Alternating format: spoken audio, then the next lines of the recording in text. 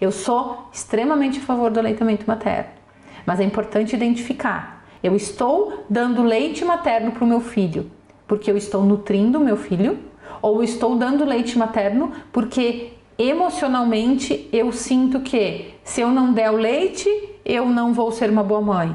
Se eu não der o leite, ele vai não vai mais gostar de mim. Se eu não der o leite, ele não vai comer nada. Ele vai. Lembra que quem conduz é tu. O que, que acontece? Ah, beleza, eu vou, eu vou, Juliana, eu vou conseguir regular umas mamadas. Não é para tirar o peito total. Mas tem mães que amamentam 20 vezes no dia. Eu estou dizendo que para uma criança que não come, mamar 20 vezes por dia não vai fazer ela comer. E o que, que acontece? Nos momentos que tu decidiu não dar o peito, você não dá. Você dá o que está planejado. Ah, mas não, ele não. No primeiro dia que eu tentei, ele não comeu.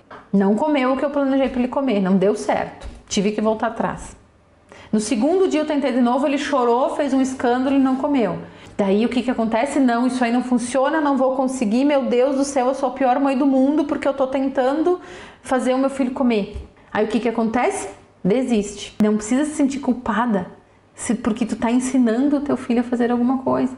Quando teu filho começar a andar de bicicleta, ele vai cair, ele vai ficar chateado, ele vai ficar frustrado porque ele não vai conseguir, porque ele vai ter que tentar de novo. A alimentação também é um aprendizado, também é um treinamento.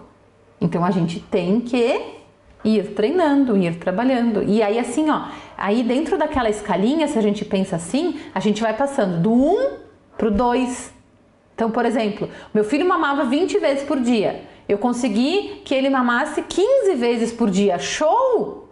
Consegui dar um passo. Não é não conseguir fazer nada. Consegui que ele mamasse 5 vezes por dia, mas ele não comeu nada. Beleza! Foi do 2 pro 3. Até o momento que ele vai, tu vai pro 4. Daqui a pouco ele comeu um, uma coisinha, daqui a pouco ele sentou na mesa, ele comeu um pedaço de batata. Daqui a pouco ele vai comer uma colher de arroz.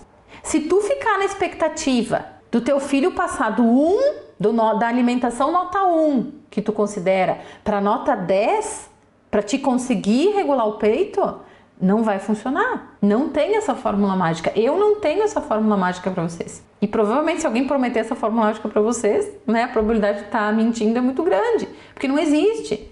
Existe passar de etapa a etapa. Então, valorizem, valorizem, valorizem cada etapa de vocês, cada vitória de vocês. Deixem a culpa de lado.